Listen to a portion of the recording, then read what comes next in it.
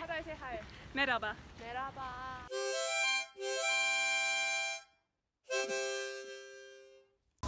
Şu anda Sejongdero Caddesi'ndeyiz. Ani bir kararla Gyeongbokgung Sarayı'na gelmeye karar verdik. Bu saray Choson Hanedanı'nın sarayı. Beş saraydan en büyüğü ve en güzeli. Bu cadde üzerinde Kral Sejong'un heykeli var. Kral Sejong, Kore alfabesini geliştiren kral. Bir de Amiral Lee Suji'nin heykeli var. Bu saray 1395 yılında yapılmış. 1592 yılında Imjin Savaşı'nda Japon işgali sırasında yanmış. 1865'e kadar saray kullanılmamış. Sonra Kral Gojang tarafından yeniden yaptırılmış ve hanedan tekrar buraya taşınmış. Tabii ben bunların hepsini gezerken değil sonradan öğrendim. Gezerken en ufak bir fikrim yoktu. 1895 yılında İmparatoriçe Myeongsong bir suikaste kurban gidiyor.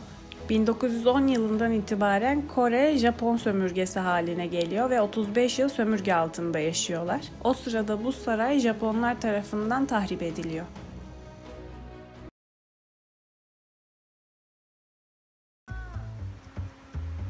Ben sarayı çok sevdim ama fotoğraf çekimi için oraya gitmiş gibi olduk. Akşama kadar gezdik. Bugün normalde hiçbir şey yapmayacaktık. Son anda karar verdik. Otobüse atladık ve gittik. Hiçbir planımız yoktu. Eğer üstümüzdeki kıyafetlerden kiralarsanız yani bunu giyiyorsanız e, girişe para ödemiyorsunuz. E, saray bayağı güzel, büyük. E, sarayın tarihi hakkında hiçbir fikrim yok. Rehber tutmadık. Şeye gidince araştıracağım. Her yerini gezdim. Fotoğraf çekiniyoruz çünkü bu kıyafetler birazcık pahalı. Burası normalde eski saraymış. Sonra Japonlar yıkmış, yakmış, bir şeyler yapmış. Sonradan tekrar inşa etmişler.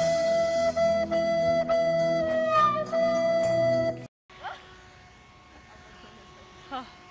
Bugün normalde çok yağmurlu bir gündü. Hayatımda hiç bu kadar fazla yağmur görmedim. Bir yağıyor, bir duruyor. Azıcık güneş açıyor, tekrar yağmur yağıyor. Ama yine de geldik. Yolda çok mutluyum. Elimizde yelpazelerimiz var. Onlarla serinlemeye çalışıyoruz ama mümkün değil serinlemek. Yağan yağmur da çok sıcak. O yüzden parmak arası terlikle geziyorum. Ayakkabılarım anında ıslanıyor. Fan service.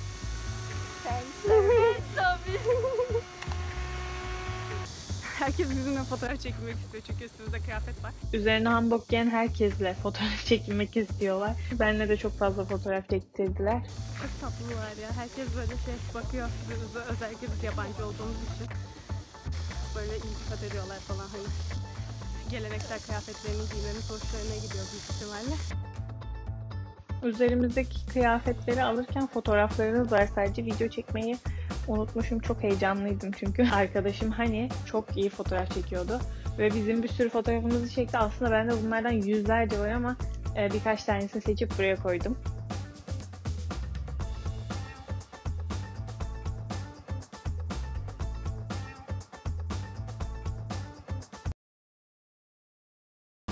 One eternity later. Çok yorulduk. Aşırı ayaklarım çok ağrıyordu.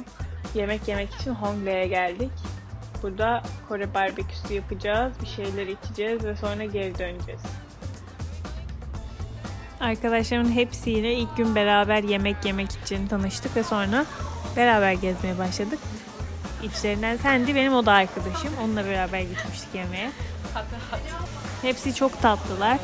Singapur, Tayvan, Amerika ve Danimarka'dan geliyorlar.